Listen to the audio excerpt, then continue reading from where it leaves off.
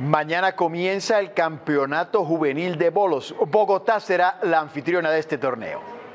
Ultimando detalles de lo que será la participación en el Campeonato Nacional a partir de este viernes están los jugadores de la selección Bogotá Juvenil de Bolos que buscarán seguir demostrando por qué la capital es potencia dentro del país. Simplemente estamos afinando los últimos detalles del torneo, eh, estamos escogiendo el equipo con el que se va a jugar y pues a tratar de tener mejor resultado como siempre tratamos de hacerlo. Tener los campeones nacionales aquí en, en esta delegación que está entrenando en este momento y yo creo que si hacemos un buen trabajo no va a ser muy difícil conseguirlo.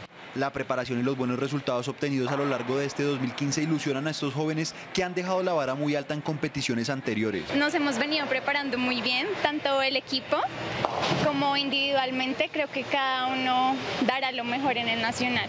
El camino que han construido desde sus inicios en la disciplina es el motor que los motiva día a día para dejarlo todo por la capital. Al inicio yo pues siempre me habían dicho que yo iba a ser muy bueno, entonces desde pequeño siempre me gustó muchísimo, eh, siempre le he metido todas las ganas que, he podido, siempre me ha gustado, de hecho es una de, las cosas que más me gusta hacer.